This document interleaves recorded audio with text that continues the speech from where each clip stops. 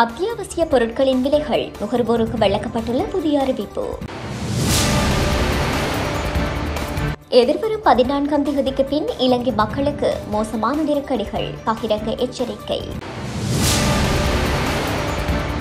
ஆயுதம் தாங்கிய சகல படையினருக்கும் ஜனாதிபதி பிறப்பித்துள்ள உத்தரவு. சற்று முன் வெளியான புதிய அறிவிப்பு. எந்த ஒரு சந்தர்ப்பத்திலும் இனி பரீட்சைகள் பிற்போடப்பட மாட்டாது. வெளிநாட்டவர்களால் இலங்கைக்கு காத்திருக்கும் பெரும் அபாயம்.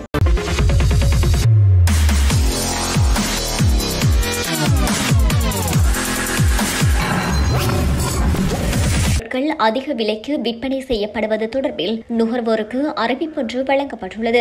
அதன்படி நிர்ணய விலைக்குட்பட்ட பொருளை வர்த்தகர்கள் அதிக விலைக்கு விற்பனை செய்தால் வர்த்தகர்களுக்கு எதிராக சட்ட நடவடிக்கை மேற்கொள்ள முடியும் என அறிவிக்கப்பட்டுள்ளது. இந்த விடயத்தை நுகர்வோர் அதிகார சபையின் தலைவர் சாந்த கிரியல்ல தெரிவித்துள்ளார். இது தொடர்பில் அவர் மேலும் தெரிவிக்கையில் தெரிவு செய்யப்பட்ட சில அத்தியாவசிய பொருட்களுக்கு அரசாங்கம் அதிகபட்ச சில்லறை விலையை நிர்ணயித்து வர்த்தமானியை பரிசீலித்துள்ளது. அதிகபட்ச சில்லறை விலை நிர்ணயிக்கப்பட்ட பொருட்கள் வர்த்தகர்களினால் அதிக விலைக்கு விற்பனை செய்யப்படுவதனை ஆதாரத்துடன் முறைப்பாடு செய்தால் முறைப்பாடு ஏற்றுக்கொள்ளப்படும். உரிய முறைப்பாடு பரிசீலனை செய்யப்பட்டு வர்த்தகர்கள் தவறிழைத்திருப்பாராயின் அவருக்கு எதிராக சட்ட நடவடிக்கை மேற்கொள்ளப்படும். இரண்டாயிரத்தி இருபத்தி மூன்றாம் ஆண்டுக்கான வரவு செலவு திட்டம் எதிர்வரும் பதினான்காம் தேதி நாடாளுமன்றத்தில் சமர்ப்பிக்கப்பட்டதன் பின்னர் நாட்டு மக்கள் பொருளாதார ரீதியில் மிக மோசமான நெருக்கடிகளை எதிர்கொள்ள வேண்டி ஏற்படும் என முன்னாள் அமைச்சரும் சுயாதீன எதிர்க்கட்சி நாடாளுமன்ற உறுப்பினருமான பேராசிரியர் ஜி எல் பீரிஸ் தெரிவித்துள்ளார். வரி அதிகரிப்பு நடுத்தர மக்களின் வாழ்க்கையில் மிக மோசமான பாதிப்பை ஏற்படுத்தியுள்ளதை அரசாங்கம் கவனத்தில் கொள்ளாமல் அரசாங்கம் வருமானத்தை அதிகரிப்பதற்கு நடுத்தர மக்களை பலியாக்குவதாகவும் அவர் குற்றம் சாட்டியுள்ளார். கொழும்பில் உள்ள சுதந்திர மக்கள் காங்கிரஸ் காரியாலயத்தில் நேற்று தினம் இடம்பெற்ற ஊடகவியலாளர் சந்திப்பில் கலந்து கொண்ட போதே அவர் இந்த விடயத்தை தெரிவித்துள்ளார்.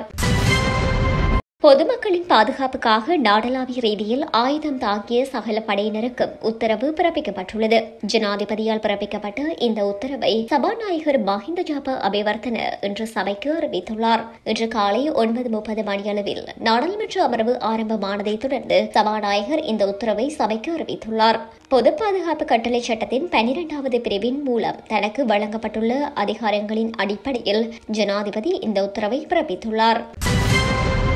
புலைமை பரிசல் பரீட்சை மற்றும் கல்வி பொதுத்தராதர உயர்தர பரீட்சைகள் பிற்போடப்பட மாட்டாது என தகவல்கள் வெளியாகியுள்ளது. இதனை கல்வி அமைச்சர் சுசில் பிரேமச்சந்த கண்டியில் நேற்று தினம் இடம்பெற்ற ஊடக சந்திப்பின் போது தெரிவித்தார். அமைச்சர் வருட இறுதியில் ஏற்படும் முப்பத்தி இரண்டாயிரம் ஆசிரியர் வெற்றிடங்களை நிரப்ப கல்வி அமைச்சர் திட்டமிட்டுள்ளது.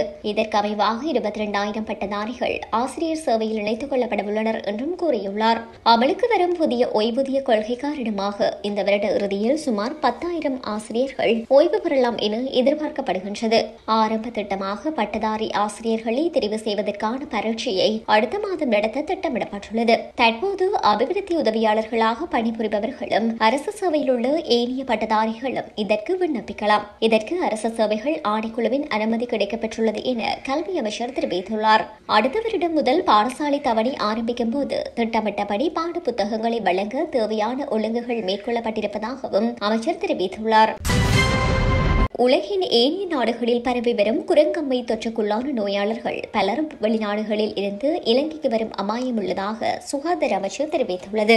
குரங்கு காய்ச்சல் தொடர்பான விசேட கலந்துரையாடலின் போது உரையாற்றிய சுகாதார அமைச்சின் தொற்றுநோய் பிரிவின் நிபுணர் வைத்தியர் சிந்த பெரேரா இதனை தெரிவித்தார். இதுகுறித்து அவர் மேலும் தெரிவிக்கையில் வெளிநாடுகளில் இருந்து அறிகுறியற்ற நோயாளர்கள் கூட இலங்கைக்கு வர முடியும் எனவும் சுட்டிக்காட்டியுள்ளனர். இலங்கையில் அடையாளம் காணப்பட்ட நோயாளரை சிறப்பாக நிர்வகித்து அவரை சிகிச்சைக்காக அரசு மருத்துவமனைக்கு அனுப்பி வைத்துள்ளதாக அவர் குறிப்பிட்டுள்ளார். இந்த நோய் உலகின் ஏனைய பகுதிகளில் இன்னும் இருப்பதால் ஒரு கட்டத்தில் அதிகமான வழக்குகள் பரவக்கூடும் என்றும் அவர் எச்சரித்துள்ளார். தற்போது அறிகுறியுடன் அடையாளம் காணப்பட்ட ஒருவர் சிகிச்சை பெற்று வரும் நிலையில் சில நேரங்களில் அறிகுறியற்ற நோயாளிகள் கூட இலங்கைக்கு வரலாம் என அவர் சுட்டிக்காட்டியுள்ளார்.